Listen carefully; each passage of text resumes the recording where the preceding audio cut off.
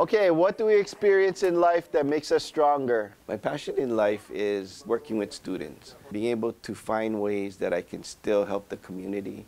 Because when I first got injured, the community really helped me. Michael Tom is a local boy who had everything going for him until that one fateful day back in 1990.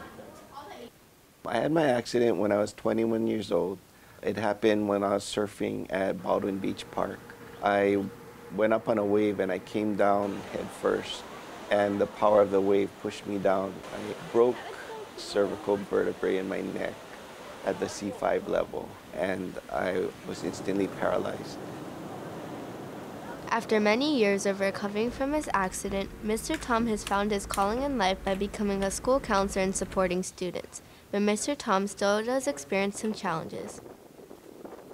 Challenges I usually face involve accessibility, being able to get in and out of doors. If there's bumps or curbs, being able to get past those or find ways to get around. As time went on, I guess I started to realize that this was a little more permanent than I realized. And I think the turning point came when I was really able to question God and to kind of be angry with God.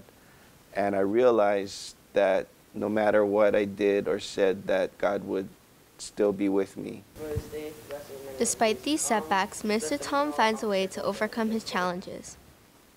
I overcame my challenges mainly by making conscious decisions to either give up, to give up on what I wanted to do, or to be able to use those challenges as springboards for learning new things, improving who I was as a person, and going forward from there.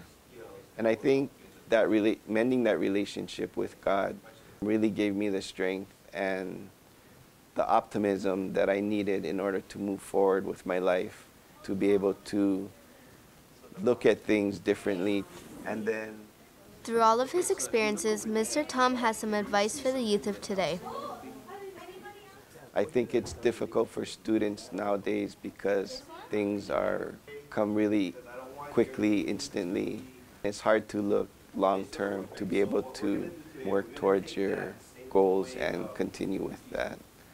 Um, I would say to never give up and to be able to endure and overcome your challenges, to look at challenges as a way to grow rather than as roadblocks.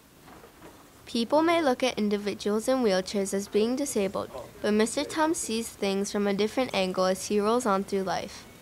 This is Amaya Genovia from Kamehameha Schools Maui for HIKI NŌ.